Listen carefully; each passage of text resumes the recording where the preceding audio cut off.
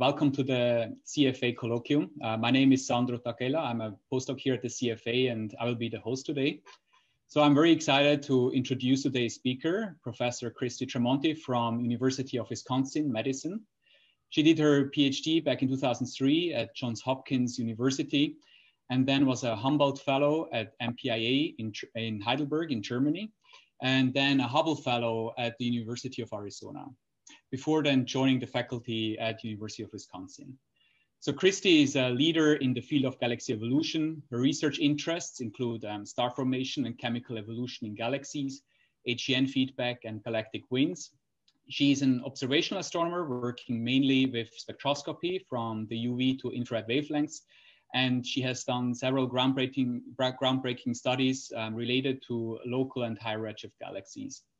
Her seminal work based on the origin of the mass metallicity relation is one of the most cited works in the field of galaxy evolution. And throughout her career, she has received a large number of grants and awards, including the NSF Career Grant and the H.I. Romnes Faculty Fellowship. So I think we are uh, very fortunate today to hear from her about probing star formation and feedback at its most extreme. So thank you, and Christy, please take it away. All right. So thank you for that nice introduction. And thanks to everyone, you know, if you're coming out today and, uh, you know, putting aside your NSF proposals and your JWST proposals, um, I appreciate that. All right, so today we're going to talk about star formation and feedback at its um, most extreme. But before I dive in, I just wanted to highlight my um, you know, cosmic web of collaborators. I think these days it's hard to be a good astronomer in isolation. And, um, you know, uh, my colleagues and collaborators have played a huge part in the work I'm going to show you, and I'll try to call out some individual faces as we go forward. All right, so our topic today is going to be feedback, and implicit in that is the idea that we're going to be talking about negative feedback. So um, the idea is that uh, Feedback refers to this process by which stars and possibly black holes are returning energy to their surrounding interstellar gas and thereby inhibiting future star formation or future black hole growth. And we can see a beautiful kind of local example of this here where we see this young massive star cluster forming and you really get the sense of that cluster pushing back against all its you know natal material that it formed from.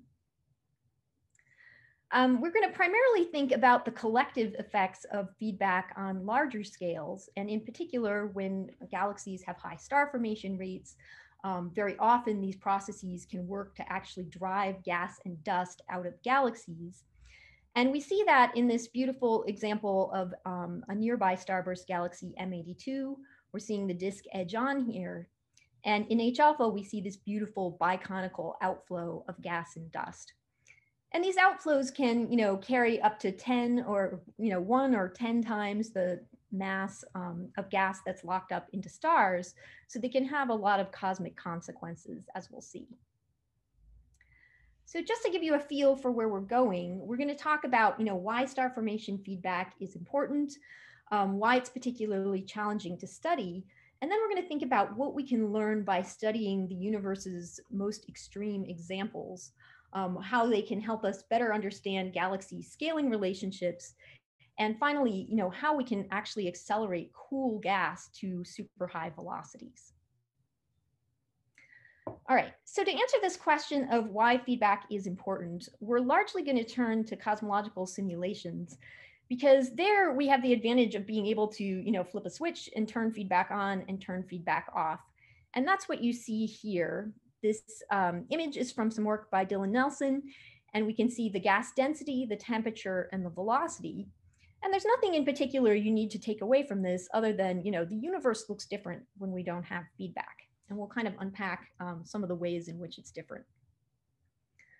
So primarily, you know, the big effect of feedback is it, you know, regulates and slows down star formation.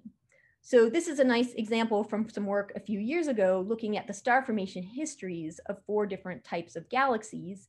Um, this is work by Phil Hopkins. And we can see for this high redshift galaxy uh, with feedback, you know, without feedback, star formation peaks super early and then declines quickly. Whereas feedback um, allows that process to happen um, more gradually over cosmic time. When we put this all together and look at the star formation history of the universe, we can see profound differences when feedback's included in simulations and when it's not. When there's no feedback, um, the star formation history of the universe is so extreme that it goes right off the plot. We can see that when we include feedback from just star formation, we do a pretty good job, that's this green line, of matching the observations, which are shown in gray. Um, and at late times, it becomes important to also include feedback from black holes. Now, my talk is going to concentrate almost exclusively on star formation feedback, but we know, of course, that black hole feedback is very important as well. All right, feedback is also critical in setting the relationship between a galaxy's dark matter halo mass and its stellar mass. So here, as a function of dark matter mass, we're seeing that um, stellar mass to dark matter mass ratio. And the gray here shows observational data. And then these points come from a variety of different simulations. The blue one is where feedback has not been included. And you can see that without feedback, this ratio is pretty close to the cosmic average of you know, baryonic matter to total matter. Um, when feedback is included, you know, it seems to be absolutely essential to include it in order to match those observations and different kinds of feedback um, can get you, you know, closer to that relationship. Feedback's also critical in setting the morphology of galaxies. Of course, if we don't have feedback, star formation happens early, and then when galaxies merge, you know, they, they undergo dry mergers and they produce, you know, kinematically hot remnants that tend to be more bulge dominated. Um, you know, when feedback is included and there are different ways it can be included, we can reproduce thin disks. Finally, nearest and dearest to my heart, um, feedback is absolutely critical in removing gas and metals from galaxy disks and helping us establish this mass metallicity relation, you know, which we know exists over some six decades in stellar mass. Um, it's also critical in taking those metals and moving them out to larger radii. So this is some work um, done with Illustris TNG, exploring the gas metallicity on larger scales. And this radius here is half the virial radius. So we can see those metals being moved out of galaxies in these galactic winds into the circumgalactic medium. Okay, so to this audience, you know, I realize I'm probably preaching to the choir when talking about how important feedback is. Um, you know, we just know it influences galaxy star formation rates, their stellar masses, their morphologies, the chemistry of the gas in galaxies and outside of it. It's just one of the profoundly important properties or processes in galaxy evolution. Um, despite its importance, it has been, you know, really challenging to study both observationally and theoretically. And part of the reason for that is that it results from a multitude of different processes that are all ultimately linked to massive stars. So supernova produce, you know, hot gaseous bubbles that, you know, will expand and sweep up gas. That's the basic engine of feedback. But there are also big contributions from stellar winds, um, which also can produce hot gas when they shock with the surrounding interstellar medium. We can also have radiation pressure on dust grains. These hot, young, massive stars produce a lot of UV photons that can be absorbed by dust and can transport momentum that way. Photoionization heating turns out to be important. And in the last few years, there's been a lot of work on trying to incorporate the effect of cosmic rays, which can act on very different spatial scales than some of these other processes. Um, so again, here's a nice example of a star cluster pushing back on its surrounding gas and dust, um, but it's due to a variety of processes. The other thing that's really challenging about this is that um, it produces very highly structured kind of multi-phase gas. So I'm gonna uh, show you this simulation here, which is um, part of the TIGRESS simulations done by Chang-Goo Kim and Eve Ostriker. And what we're looking at here are star clusters forming in an edge on disk. So each little dot here is a star cluster that's formed and the colored dots are the young clusters. And we're looking at maps of density, temperature, pressure, velocity, and um, the magnetic field strength. And so what you see in this small scale simulation that's able to kind of self-consistently follow the star formation process and the structure of the interstellar medium you see that you know it's very complicated, highly structured, and there are a lot of different co-spatial gas phases. Um, this has made feedback really, really tough to simulate where, you know, cosmological simulations just simply cannot resolve these scales.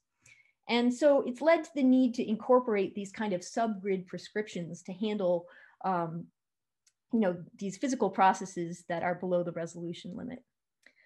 Um, observationally, it's been, you know, challenging too, because often we can only observe one of these gas phases and we kind of have to extrapolate to understand the full picture. All right, well, how do we learn about feedback? Um, you know, one good way to learn about it is by implementing different feedback prescriptions in simulations and seeing which ones best match the observational data like we saw in this plot previously. But it turns out that, you know, this is a really indirect way to do it, right? Because there's so many other things that can be important in reproducing these correlations um, you know, what is the star formation efficiency? We have to think about how gas gets into galaxies, um, the role of mergers, many different processes. So I'm going to argue that the most direct way to study feedback, the best way to study it, is to look at its most um, dramatic manifestations, which are these bipolar galactic winds. So here's yet another picture of M82. We'll see this galaxy a couple more times in this talk. Um, and again, we're looking at the disk edge on and the um, red stuff here is actually showing dust in this image. It's a Spitzer image showing dust being blown out of the galaxy. And the blue stuff here is um, X-rays showing that, you know, hot uh, gas being produced by supernova and stellar winds. All right, so we're going to talk about extremes today, and um, I will argue that 2020 has been a year of extremes. Um, mostly, you know, in our life, extremes are, are, you know, we think of extremes as being bad, and certainly they have been this year, and I think we're all pretty ready to move on from those extremes. Um, but I'm going to hope to, to uh, tell you about some extremes that can be good. We're going to look at extremes in terms of galaxy star formation rates and um, other physical properties and in, in fact, extreme outflows. And so one question is, you know, why it's useful to go to extremes like this. And I'm going to show you that it's useful to kind of extend the dynamic range of these kind of fundamental correlations in galaxy physical properties. So things like the mass metallicity relation, you know, took years to uncover because most individual studies looked at samples that had a small dynamic range. And it wasn't till we had SDSS that allowed us to look over several orders of magnitude in stellar mass where we could start to see this fundamental trend imprinted on the galaxy population. So by looking at the most extreme galaxies, we can extend the dynamic range of trends. The other reason is that it's really interesting to probe the physics of what's possible by looking at the most extreme examples of phenomena that we can find.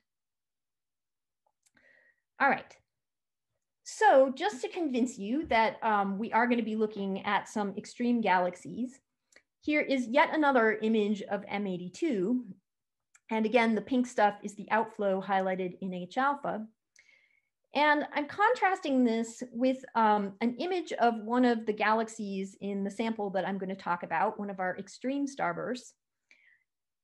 And here, what you're seeing in grayscale is an HST image that's been, this galaxy is at redshift a half or so. Um, this HST image has been stretched really hard so you can see some of the fainter tidal features. This galaxy is a little bit, um, a, a, little merger. And what you're looking at in color is a narrowband O2 image made from the Keck Cosmic Web Imager. So it's an IFU spectrograph. And we've just picked out a slice around O2 3727. So it should be pretty comparable to what we could see if we were looking at H alpha similar to M82. Now in M82, the outflow um, doesn't extend to radii that are much larger than the radii of the disk. Uh, if we had a deeper image, we could see it, you know, it might go up almost twice what you see here, um, but it doesn't extend more than about 10 kiloparsecs. The O2 gas that we're seeing around Makani, and I'll show you later that this gas is part of an outflow, so this is outflowing gas at all radii, um, extends up to about 50 kiloparsecs. So it really is an extreme outflow compared to M82 in the local universe. So we'll talk about this galaxy a little bit later, but let me tell you a little bit more about our sample in general. All right, so we're going to be talking about a sample of 50 galaxies that are part of what we call the HizEA sample. And I'll tell you where that name comes from in a minute. Uh, these galaxies were selected from the Sloan 1 survey. I actually found them sort of by eye as a graduate student flipping through spectra. That was the, the beginning of all this. Um, and these galaxies are actually, you know, targeted as quasars in the SDSS, but they turn out not to be. So they're at redshifts of 0.4 to 0.8, and they turn out to be very massive and uh, to have, you know, high star formation rates of a few hundred solar masses a year. If we were to put them on the color magnitude diagram in SDSS1, they'd be where this green circle is. They're really extreme outliers. But again, most Sloan galaxies are at redshifts of 0.1, and we're looking at sort of redshift a half to 0.8. If we put them on this deep two color magnitude diagram, however, we still see that they sit in you know, an interesting part of a parameter space. They tend to be more luminous and bluer than your average galaxy. Um, Sloan, of course, covers an enormous volume, so I think we really have picked out some of the extreme galaxies in the universe. All right, well, where's this funny name come from? Well, it was my shorthand for high redshift E plus A, because when we selected these galaxies, we really only applied two criterion. We looked for things that were in that redshift range, and we looked for things that were blue but had weak emission lines. And I did this at the time because I was interested in studying the shutoff of star formation, and I wanted to select post-starburst galaxies. So you can see some of their spectra here. They are indeed very blue and they indeed have very weak nebular emission lines. So that's O2 and we see H beta over here. Um, it turns out a few years later, they were observed by WISE. And when we look at their SEDs, um, most of them have quite strong far infrared SEDs insofar as we're able to measure it. And you can see that over here. These are some of the WISE points. Um, so it turns out most of these, you know, despite our cut on nebular emission lines, um, do have quite a bit of ongoing star formation. So they are not post starburst. In fact, many of them have star formation rates of, you know, several hundred or close to a thousand solar masses a year. All right, well, in SDSS1, these galaxies were super boring. They're just, you know, little unresolved dots, but that's no surprise that, you know, redshift a half galaxies should look unresolved in ground-based imaging. So we followed up a subset of galaxies with Hubble, and you know, these redshifts are kind of Hubble's bread and butter. We should see, you know, little blurry smudges in ground-based images resolved into nice disk galaxies. Um, but that's in fact not what we saw. um, it was quite a surprise when we got this imaging. So it turns out this is a redshift a half galaxy here, but the galaxy that we're interested in is this little blue dot. And with Hubble, it looks like a star. In fact, if you look closely, you can see these little, you know, this little ring of dots around it. You're seeing the airy ring of the PSF. So even with Hubble, these galaxies looked, you know, stellar in many cases. Now, it turns out that they are not, you know, uniformly stellar. So this is some nice work from my former graduate student, Paul Sell. Um, every single one of them showed a very, very compact core. And when I say compact, I mean you know, 100 to 200 parsecs. So very compact considering that these are very massive 10 to the, you know, 10 to 10 to the 11 solar mass galaxies. Um, many of these galaxies showed that compact core. You can see the airy rings, again, just emphasizing just how compact it is. But many of them also showed tidal features indicative of major merging. So we think these galaxies are the products of some kind of very highly dissipational major merger. So some very gas rich major merger where a bunch of gas got concentrated in the center and it had a very compact starburst. That galaxy that I showed you before, Makani, um, Makani's uh, Hawaiian for wind, that one was special enough, we gave it a name.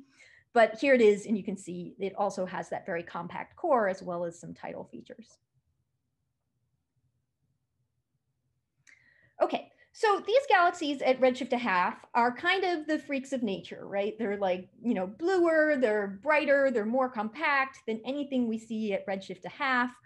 Um, but I think they are probably fairly typical examples of a phenomena that happened at redshifts two to four. Um, that is the formation of um, the progenitors of massive elliptical galaxies today. So we think those galaxies, you know, started their star formation relatively early, probably had a dust enshrouded starburst. Um, you know, the prevailing theory for these compact massive galaxies is that a quasar cleared away the gas and dust, leaving behind a compact remnant that we see at redshifts two to four. And then that remnant was fluffed up by um, minor merging to produce the larger ellipticals that we see today. Um, so we think our galaxies are probably good analogs for this process happening at slightly lower redshifts. Whether or not we need this quasar phase is something you know that I think is uh, an open question for as far as we're concerned. Okay, so just to show you that these galaxies are in fact really compact, this is a nice plot from some recent work by Alex Diamond Stanic that's just been submitted. Um, comparing the sizes and masses of these galaxies to other samples. So this is stellar mass on the x-axis and effective radius on the y-axis here. And this um, red line here shows the size mass relation that we would expect these galaxies to be on given their redshifts. Um, the data are down here. This, the stars here show if we just consider the size mass relation of the central part of the galaxy, if we look at the whole galaxy, this is what we see. Um, and the redshift two and a half to three compact starbursts um, from Van Dokkum and collaborators are, are shown here. Um, it turns out the uh, samples at high redshift probably weren't sensitive to galaxies quite as compact as ours, just because of the resolution limits of um, HST. So maybe with JWST, we'll find some galaxies that are as compact as these. I think the other thing going on here is that because our galaxies are still young, um, they're more dominated by their sort of central bright core than uh, older galaxies would be. All right, so given how compact the galaxies are, they have really extraordinary star formation surface densities. So this is also some work from Alex Diamond Stanic uh, that's a little bit older, where he looked at, um, this is a plot of stellar mass versus star formation surface density. And star forming galaxies at redshift one live where these contours are, and our galaxies are shown as these black points.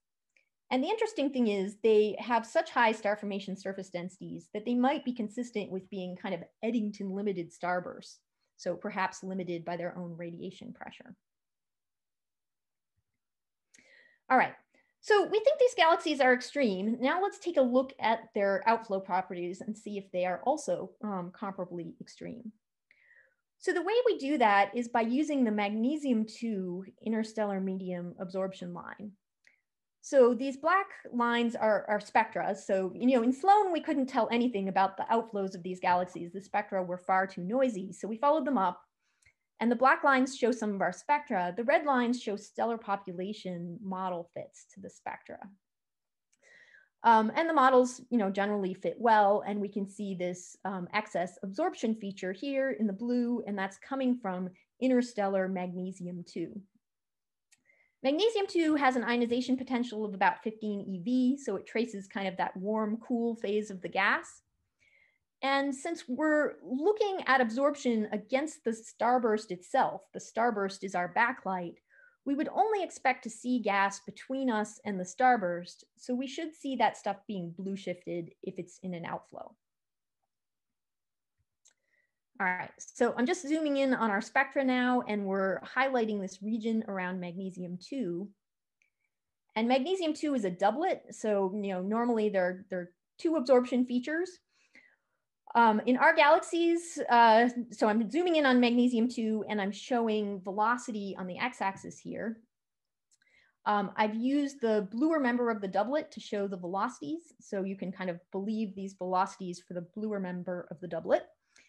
And you can see that the velocities are pretty extreme. In some cases, we see velocities as large as, you know, minus 2,500 kilometers per second. And sometimes there's no gas at zero velocity. We're seeing a little bit of P Cygni emission at zero velocity um, and no absorption. So that's pretty unusual. And we'll kind of quantify these velocities in a minute. Okay, so we're going to look at um, some scaling relations.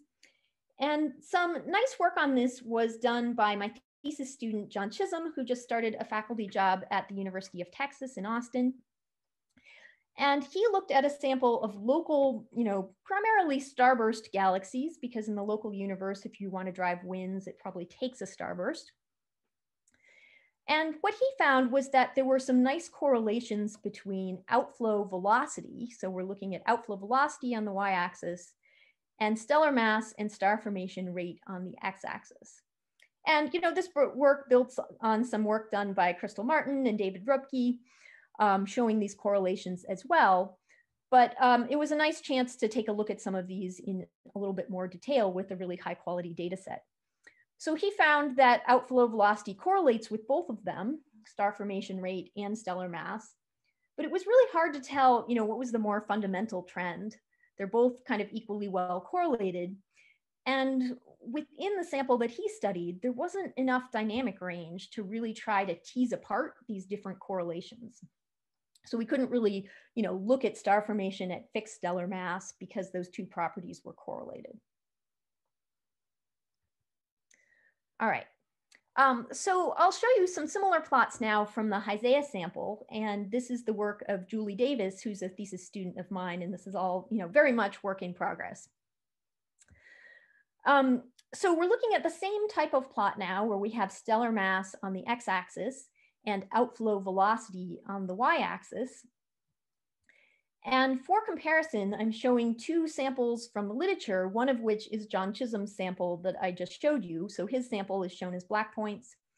I'm also showing Kate Rubin's sample, which used magnesium 2 um, at redshift of about a half, and this sample was largely drawn from the deep 2 galaxies.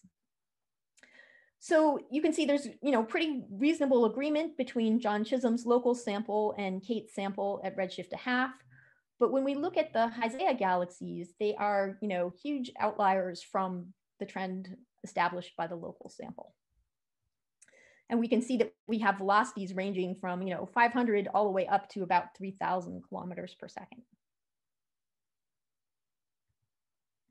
All right, so the first thing you're probably thinking is, hey, wait a minute, isn't that just AGN feedback? You know, why not? And in fact, that's what I thought too. I published a paper, I think with that in the title, but it turns out that I was wrong.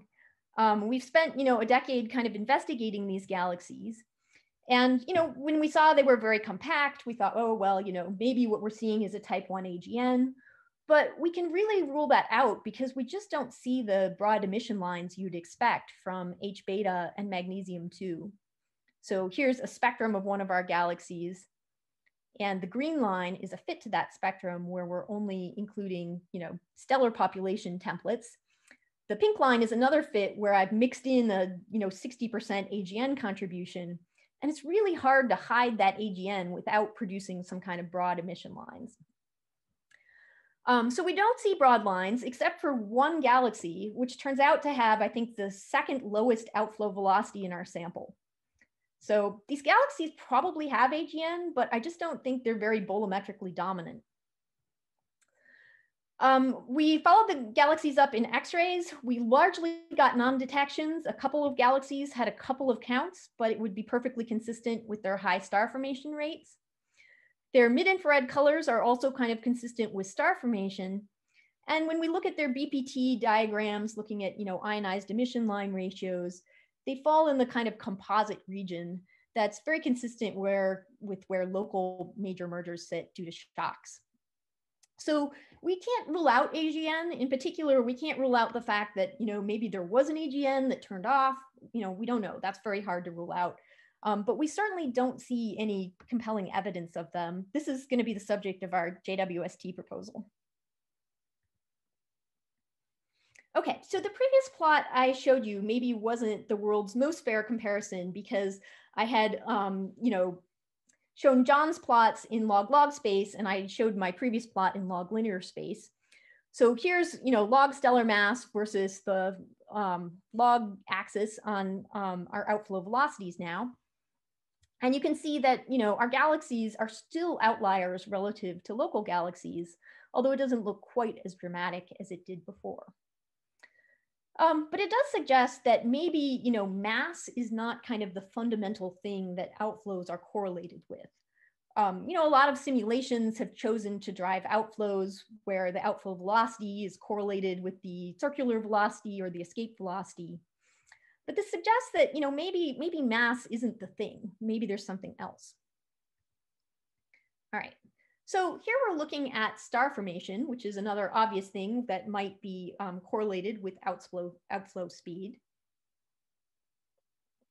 And we're showing um, two different measures of our outflow velocities here. We can look at the kind of average velocity of the line profile, or we can look at the maximum velocity that the profile reaches. And you know, either way we do it, we still see that our galaxies, while they do kind of extend the trends in interesting ways, there are also a subset of them that are outliers from those trends in both the average velocity and the maximum outflow velocity. So it really got us to scratching our heads and trying to think about, you know, what is it about our galaxies that makes them have these really dramatically high high outflow velocities? It's, you know, it's not their masses, it's not their star formations. What is it? So my prediction was that the important quantity was going to be the star formation rate divided by the stellar mass. But it just turns out that that is completely not a property that outflow velocity correlates with. This is the worst correlation of our entire um, exploration of parameter space. And this has been seen in other samples as well. It's just not a compelling um, axis to look at things along, even though it seems like it should be fairly you know, physically relevant. All right, well, what about star, star formation surface density? There is good reason to think that star formation surface density should be kind of fundamentally linked to outflow velocity because really, you know, the fundamental unit of all this is the star cluster. And we can think of an individual star cluster having a little, you know, expanding bubble of hot gas, and that bubble is going to expand and blow out of the disk. And if we have a lot of star clusters close together, those bubbles can start working together rather than kind of losing energy and dissipating it into the disk. So when we have um, high star formation surface densities, you know, our prediction is that we would get stronger outflows. And this is seen in simulations that really resolve some of the relevant physics and resolve the relevant spatial scales. So there's beautiful work that just came out from the SMAUG um, simulation group led by Chang-Goo Kim. Um, and here we're looking at a plot from their simulations showing star formation surface density on the x-axis and outflow velocity on the y-axis. And um, again, they fit a line to that trend and we can reproduce that on our, our um, observational plots. Okay, so here we're looking at star formation surface density um, for our observed samples of galaxies um, versus outflow velocity. And we can see that, you know, it does a not bad job of um, fitting the overall trend. There's a slight kind of zero point offset that probably has to do with how we characterize the outflow velocity itself. Um, but the slope of the correlation is reasonably well reproduced. So I think that's encouraging. It tells us that star formation surface density is an important parameter. Um, but I don't think it, it kind of captures the whole story. For one thing, you know, you can see there's a lot of scatter in this trend, and these this scatter is not observational error. Um, there's also a fair bit of scatter in the simulations, right? So it tells us there are other important physical um, factors in here. Okay, so going back to our, our first plot here, you know, if we just look at our HizEA sample and forget the literature samples, we see a huge dynamic range in outflow velocity. And, and again, all of these galaxies have kind of comparable masses. All of them are quite compact.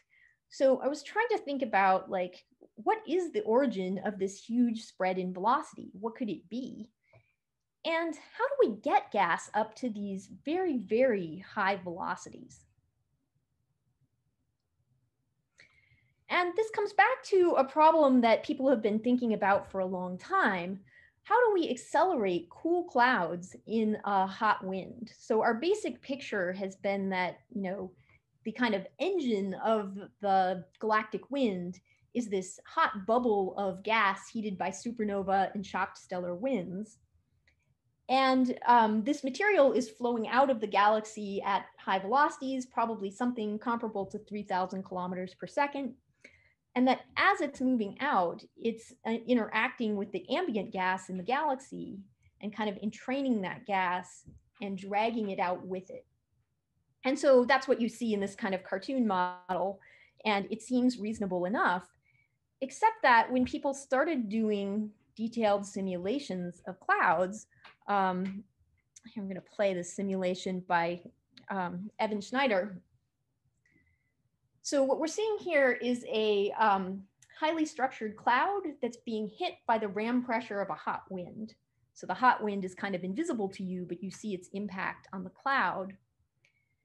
And the problem that these simulations uncovered, I'll play that again, is that it was really hard to accelerate that gas without just completely destroying the cloud. So the clouds tended to get destroyed before they got accelerated. The stuff that survives becomes really compact and dense, and then the ram pressure isn't very effective at pushing on it anymore.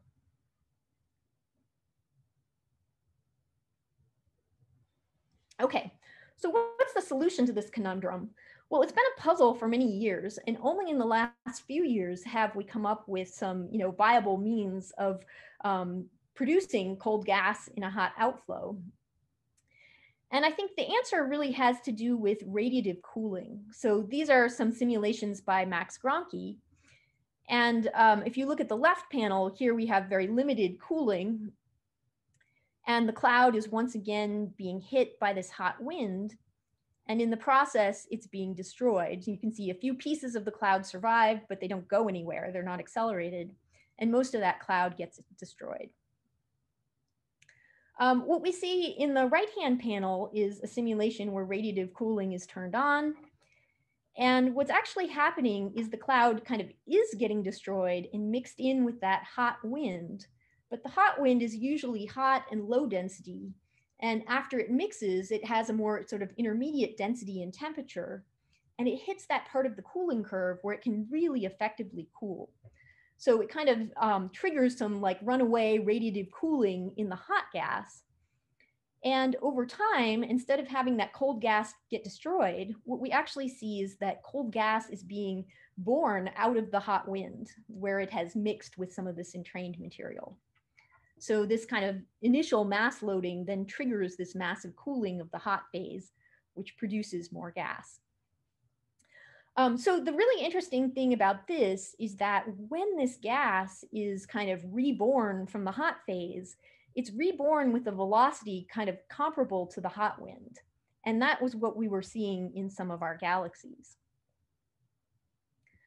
Okay, well, let's think about, that was clouds. Let's think about how this process might, um, you know, unfold on kind of galaxy size scales.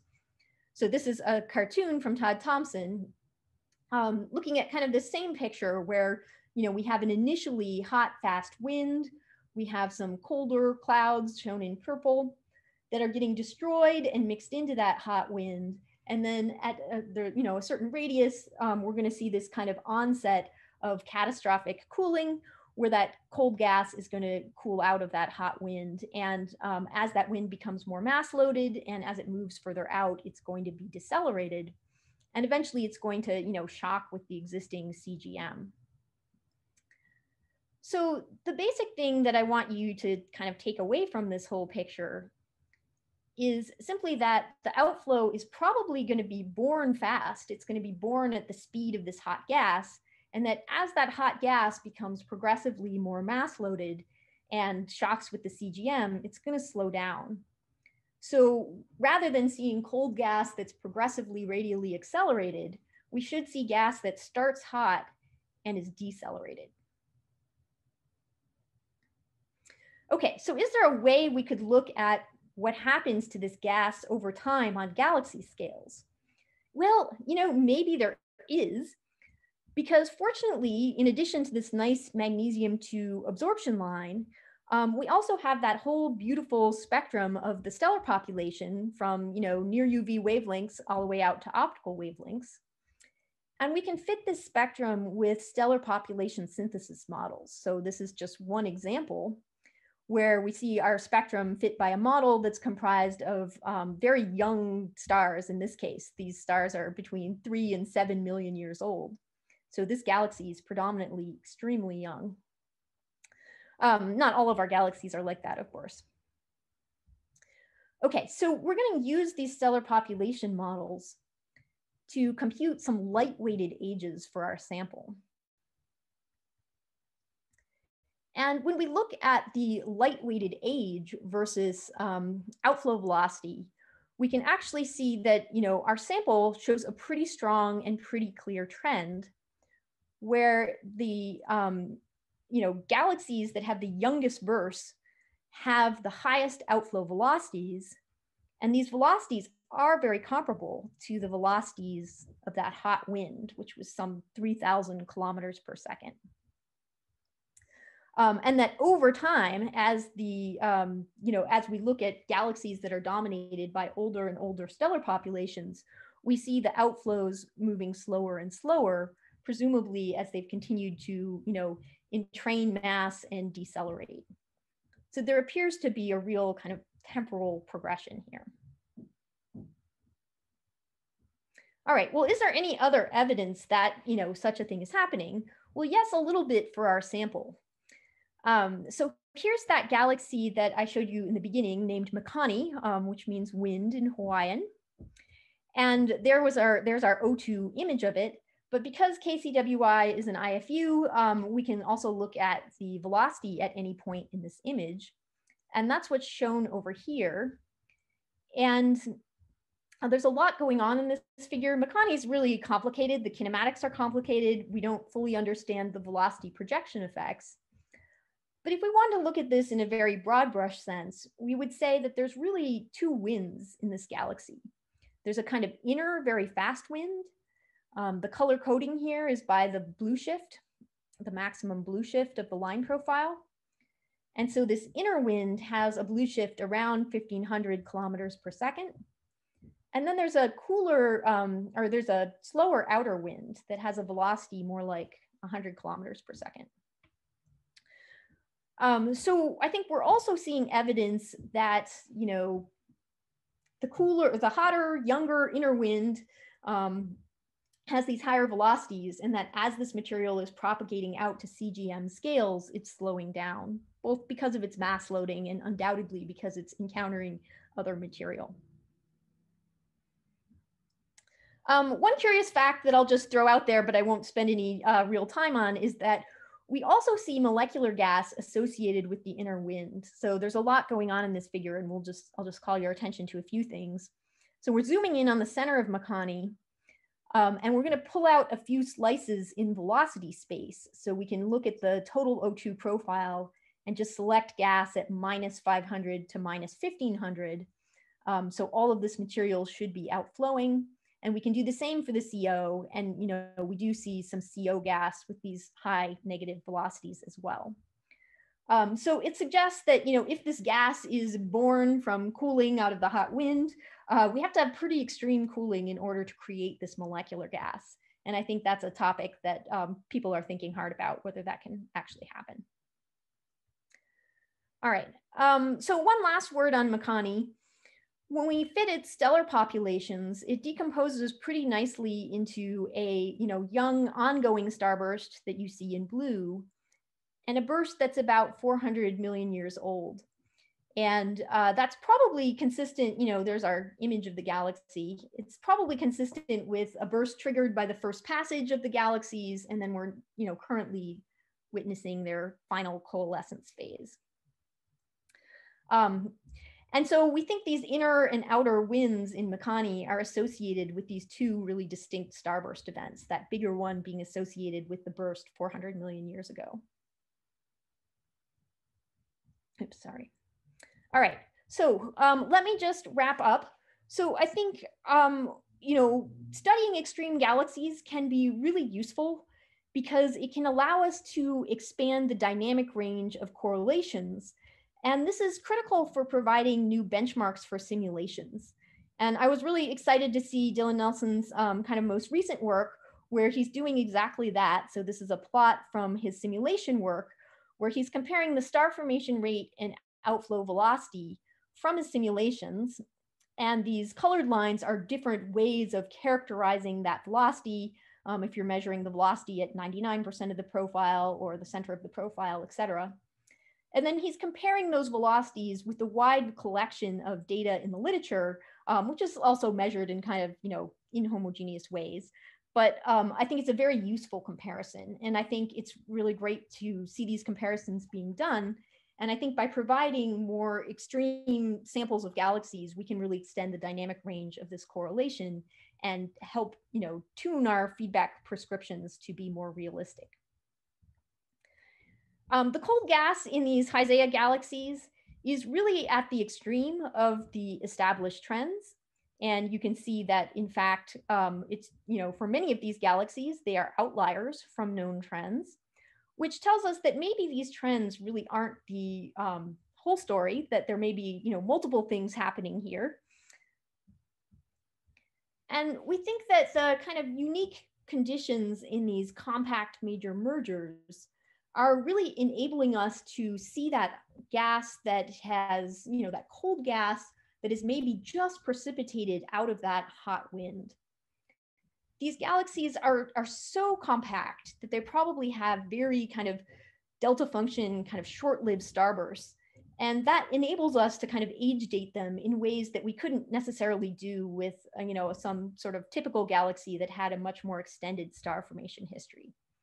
And so I think it allows us to see that temporal axis and really look at how that um, gas, how that cold gas gets born fast and slows down over time. Um, okay, let me say one last thing about where I think we're going to see a lot of progress in the future, and then I will call it good.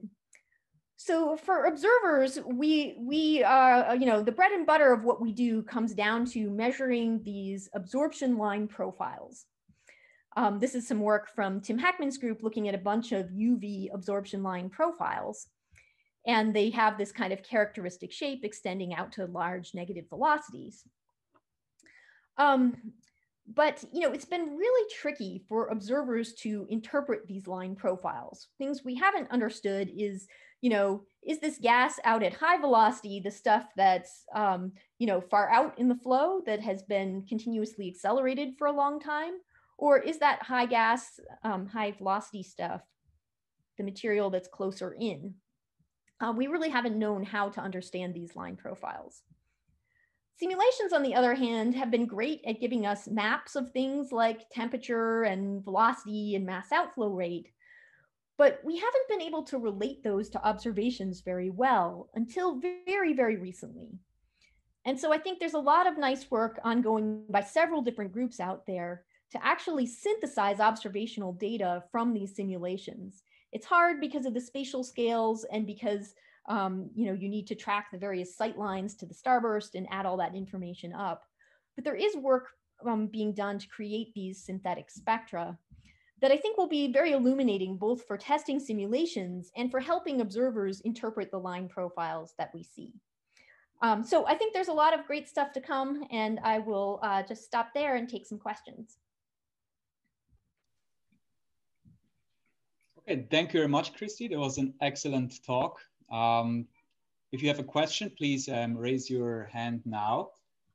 I might start until people start raising their hands. Um, so concerning the the scaling relations of the velocities of the outflow velocities with, for example, star formation and stellar mass, and you show quite you know, significant scatter with all these properties. I was wondering if there's any relation um, related to the inclination of galaxies, you know, where you see galaxies basically face on or edge on.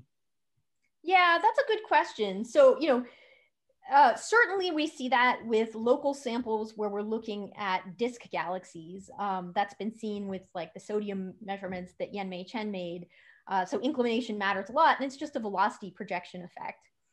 Um, with samples that are mergers, there's been, you know, it's hard to define an inter, uh, uh, you know, uh, um, what the correct inclination is. And we tend to see outflows, you know, rather than being biconical, kind of coming out from all directions. So the covering factor in mergers tends to be more like 80% for outflows. Um, with our sample, I was kind of optimistic that we were going to be able to see some trends with inclination. But because our galaxies are so compact and the morphologies are so messed up in most cases, it's been really hard to think about. I think Makani probably is one that's kind of seen edge on, but most of the others, it's it's it's pretty hard to know. but yeah, that's a good question. Thank you. Um, we I think we have a question, um, Razi. Hi, uh, do you hear me? Yeah. Yes. Yeah, so thank you so much for a very wonderful talk. I also have a question regarding to the possible connection to the simulation and the scatter that you mentioned. As it turns out, if I understand you correctly, you're saying that these hot young winds are much faster and they decelerate over the time. So I think if that actually, if that's the reason that sometimes, for example, SMAUG simulation or others, they may get extra kind of a scatter. Is this any possibility that one could use literally the merger trees and actually, you know, track them backward in time just to the time that, mm, for example, for their samples, that would be also my second question, how we, how actually, how we are sure that, you know, their sample is just exactly, you know, equivalent to the observation, but let's put it aside for now. So imagine that we use these merger trees and then just like follow them back and see those actually winds, you know, whether they were faster before or, you know, what would happen dynamically to them. And something related to that would be also that from the simulation side, it is, it is definitely possible to basically visualize them, you know, in terms of different radius from the center and basically make some kind of, you know, basically visualization on what is the gradient of the velocity of the wind actually, both over the time and also especially. Does that make sense or? Yeah, no, I think that would be kind of fascinating to to to see. And you know, I think the the big open question that I, you know, I think this age trend is really interesting and intriguing. Um, I don't I would love to know how that age also corresponds to radius within the galaxy. And so right now, you know, we have Makani where we've been able to look at it in kind of two dimensions um, and actually see that radial information. But we clearly need to build up those samples where we're actually seeing, you know, able to look both observationally and theoretically at what happens to this gas as it propagates out into the flow. Um, most of our galaxies, so we've started building up a sample observed with KCWI.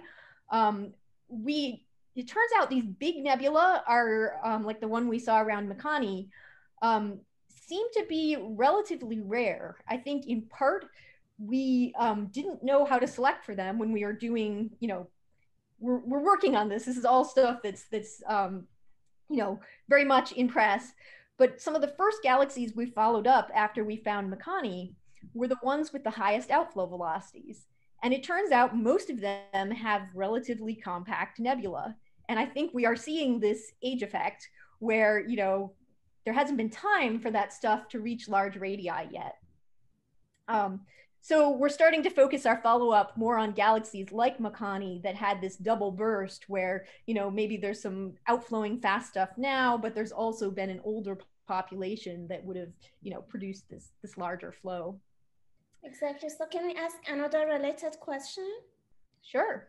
So how generic would be having very hot, you know, and very fast young winds, you know, in your galaxies?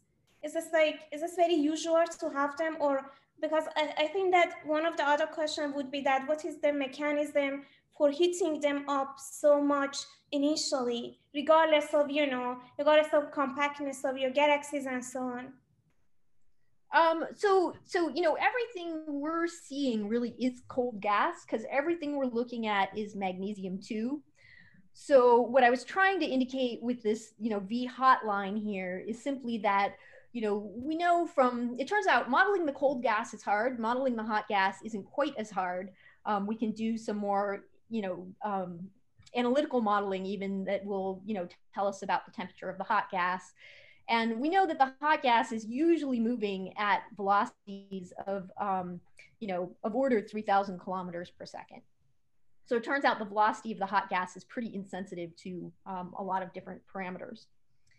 Um, so the, you know, the interesting thing though is just that we can get hold cold gas that's kind of moving with similar velocities to the hot gas. And that's the part that's always been problematic because it's hard to accelerate it without destroying it. So I think this idea that maybe it's born directly from the hot gas um, is kind of solving that problem for everyone. So that's what I mean by the V hot here. Not that our gas is hot, just that it's reaching those velocities, if that makes sense. Okay, thank you so much. And we have another question from Igor. Uh, yeah, hi. Thanks for great talk. I have a question whether you you tried to look uh, into another extreme in terms of star formation regime. Uh, there is another subclass of galaxies in SDSS which are misclassified as quasars, and those are dwarfs pretty nearby with extremely strong and compact starbursts. Uh, one example is Arakelian ARK18. Uh, we recently submitted a paper on it, and there is a star-forming clump uh, that looks like uh, it's a, a, few tens of parsecs in diameter, and the star formation rate coming out of it is close to one solar mass per year. Well, it's a substantial fraction of one solar mass per year. And we do see some outflow, uh, but uh, uh so what I'm interested in knowing is that, you know, if you take this uh, star formation surface density, it will be comparable to your extreme examples. But of course, yeah. the global star formation rate is way lower.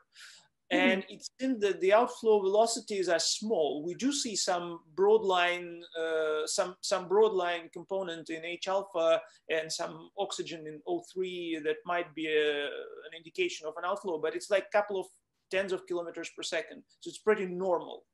So kind of suggests that the star formation rate, uh, star formation rate surface density is not the regulating factor here. Do you have any thoughts about this? Yeah, that's just super interesting. I mean, I think it is really important to expand these samples to, you know, all kinds of galaxies. And I think especially the low mass end is going to be, you know, really super interesting. Um, so yeah, I think it'd be great to see that galaxy on the, you know, star formation surface density plot and, and see where it lies. Um, and, you know, it may well be an outlier. Um, so yeah. Uh, you know, yeah. the entire galaxy looks pretty normal, but if you take this tiny star forming clump, right it's pretty extreme. It's like a superstar cluster information, or and it's it's actually it's not in the center. It's sort of off center. The galaxy itself looks pretty regularly shaped, like an elliptical or bar uh-huh. or whatever, with a low surface brightness disk. But there is an off-centered clump, and we suspect that it's a remnant of a merger or like a, an infall of a ma- massive gas cloud that happened pretty recently. And the age is also, it's actually, it's also interesting to see in your spectra, you, you're saying that the ages are an order of three to four million years. Uh, do you see any sign, any signatures of um, Wolf-Rayet stars, which you would expect? Yeah, so we do. So, you know, not all of my galaxies are like that, right? In the sense of like, this is the light weighted age trend. And you can see, you know, some of them have light weighted ages around 10 million years, but most of them are more in the few hundred million year range. But I did show you that one that was really extreme in blue. And um, that galaxy, you can see this carbon three feature over here. And that carbon three feature is a Wolf-Rayet wind line. And if we zoomed in on that, we'd see there was a little bit of a P Cygni feature. So that, oh, yeah, you, you can probably see the 4486 a little bit, uh, uh, the helium. Yeah, the problem is our galaxies have such, you know, oh, you're saying, right, the stellar. Yeah, that might well be there as well. Um, yeah, I have to go in and, and look, but yeah. So, so we do think we see, you know, some of these extremely young populations that are, um, you know, also seen often in these dwarf starbursts. But I think dwarf starbursts are great, and we should do, you know, a lot more work to get uh, both ends of this correlation soundly on this plot. So I'm excited to see your work on that. Okay, are there any, is there any last question? I, I have one, which maybe a quick, simple one. Uh, this is Randall. Uh, if the clouds are being accelerated and hot and then cooling down radiatively, that implies that the charge distribution inside them, the ionization state, is going to be set by collisions and recombinations. Uh, whereas normally for CGM models, I see people model the ionization state using cloudy and assuming it's all photoionized of some kind or another. Have you looked into what difference this assumption makes in what you see? yeah, I know this is super interesting. And I think I'm not the right person to answer this question just because I haven't worked on it specifically. But Evan Scannapieco has some really nice work working on exactly this, where he's looking at the kind of non-equilibrium chemistry and cooling of this material in outflows because it turns out that you know just assuming everything's in equilibrium and using photoionization is is not not right um, just because we're seeing such a dynamic quickly evolving mixing medium right so um, so I think that's going to be really important going forward to try to put those things in. Thank you. Great talk. Sorry for the background noise here.